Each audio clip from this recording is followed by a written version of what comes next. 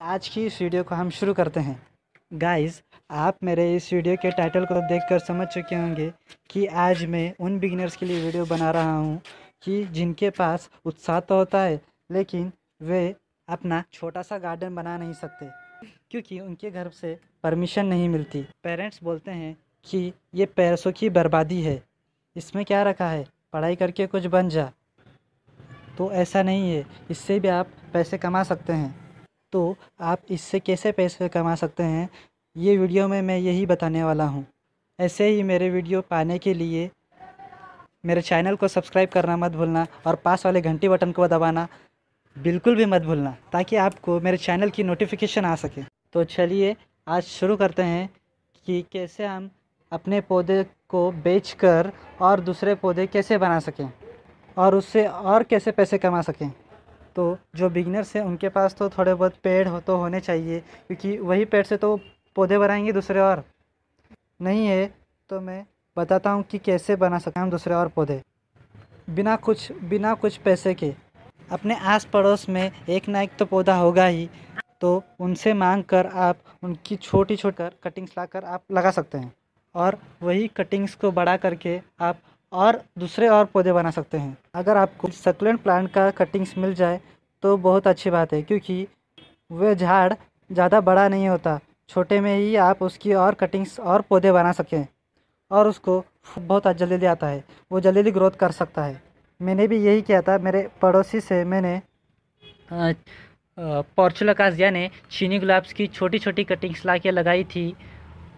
तो यही है वो पौधा जिसकी मैंने जिस आ, मेरे पड़ोसी से कटिंग्स ला कर लगाई थी मैंने दो लगाई थी और उससे मैंने उस वो बड़ा हो गया। बड़ा होने के बाद फिर और उसकी दो कटिंग्स लगाई।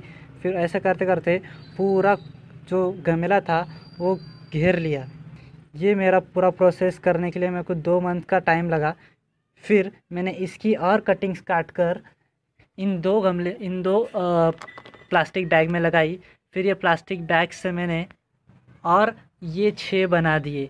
ये छः मैंने इसी सिर्फ़ एक गमले, एक बैग से बनाइए, बनाए हैं और अभी एक बाकी है।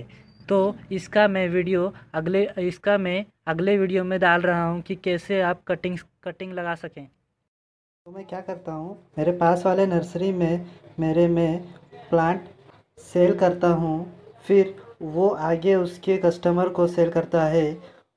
और उसके आगे की मगजमारी वो करता है करता है। मैं सिर्फ़ उसे मेरे प्लांट दे आता हूँ और उसके पास से कम से कम दाम में पैसे लेता हूँ। जैसे कि छोटा होगा तो दस रुपये और बड़ा होगा तो पंद्रह या बीस या पच्चीस इतने में ले दे, लेता हूँ। इस काम को अपना पार्ट टाइम जॉब समझना है। आप अगर पढ़ाई या जॉब करते हो तो अपने गार्डन के लिए आपको सिर्फ़ एक या दो घंटे निकालने हैं। ज़्यादा देर तक काम करने की ज़रूरत नहीं है। और एक बात मैं आपको बताना चाहूँगा कि आप जो प्लांट्स की कटिंग करते हैं, उसको आप फेंकिए मत, उसकी ब्रांचेस को आप फेंकिए मत। वही ब्रांचेस को आप दूसरे कैरी बैग या फिर गमले में लगा कर उसको बड़ा कीजिए और उसी को फिर बेच दीजिए। फिर उससे और पैसे लेकर फिर और बना दीजिए। तो ऐसा करते करते आपका पूरा गार्डन भर जाएगा। तो पौधे की हाइट कम से कम इतनी तो होनी चाहिए। नहीं तो फिर अगर छोटा होगा तो वो नर्सरी वाला नहीं लेगा। वो केयर करते नहीं बैठेगा आप, आपकी इस प्लांट्स को। ये देखिए, ये मेरे पाँच उंगलियों से थोड़ा सा बड़ा है। तो इतना तो होना चाहिए आपका पौधा। तभी वो ख़रीदेगा। ये मेरा कम से कम पच्चीस या तीस रुपए में चला जाएगा उसके पास। तो वो आगे डेढ़ सौ सौ जितना बेचे उसकी मर्ज़ी, आप सिर्फ़ उसको ये दे के आइए। आपको पच्चीस रुपये सिर्फ़ कम लगे रहे होंगे, लेकिन आप ज़्यादा बनाएँगे ना क्वांटिटी ज़्यादा रखेंगे, दस क्वांटिटी रखेंगे, आपको ढाई सौ रुपये मिलेंगे ना। ढाई सौ रुपये में से आप दो या तीन पौधे ले सकेंगे उसके पास से। और उससे आप पहचान करके ले लो, क्योंकि आप और पौधे उसको दे देंगे। फिर वो आपको आधी या आधी से कम दाम में भी दे सकता है। मेरे भी मेरे पास का एक नर्सरी वाला है, जिसके पास से मैं पौधे ले ले आता हूँ और उसी को मैं अपने आपको ये बताना चाहता हूँ कि सक्लेंट प्लांट की आप अगर कटिंग लगाते हैं तो वो जल्दी ग्रो करती हैं। बाकी बाकी जो प्लांट्स होते हैं, उसके हिसाब से ये कटिंग्स जल्दी ग्रो हो जाती है। आप चाहें तो गुलाब की बटन रोज़ वाली वैरायटी भी लगा सकते हैं।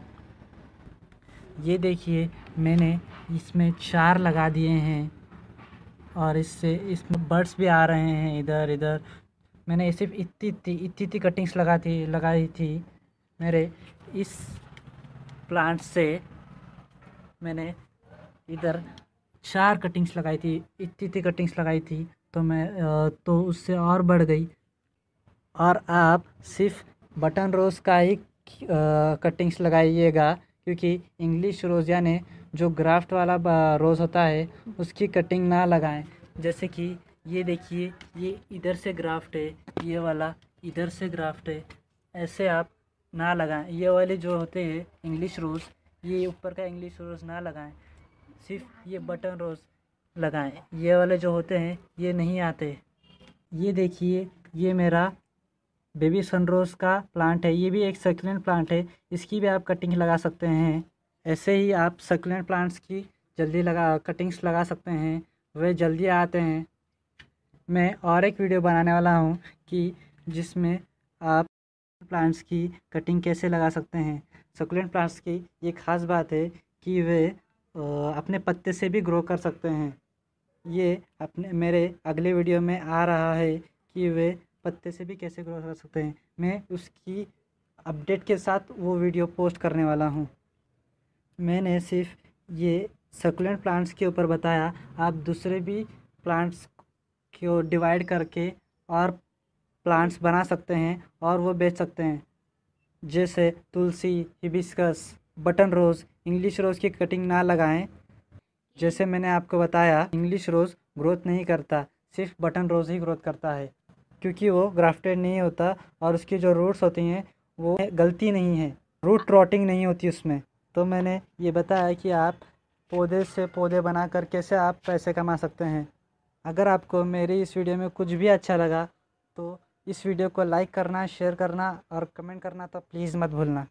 आपकी प्लांट्स के प्लांट्स के बारे में कुछ भी दिक्कत है तो मैं उसको सॉल्व करने की पूरी कोशिश करूँगा। आप मुझे आपकी दिक्कत कमेंट करना मत भूलना। ओके